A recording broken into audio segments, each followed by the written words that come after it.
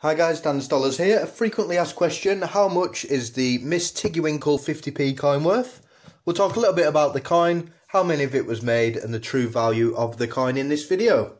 So on the back of the coin is a portrait of Queen Elizabeth II looking to the right, Elizabeth II Roman numerals for 2 on the right hand side, and the year this coin was made on the left, 2016.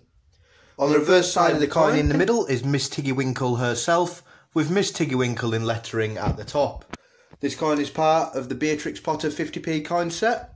There was actually 13 different Beatrix Potter 50p's released into circulation between 2016 and 2018. And back in 2016 there was 8.8 million Miss Tiggywinkles released.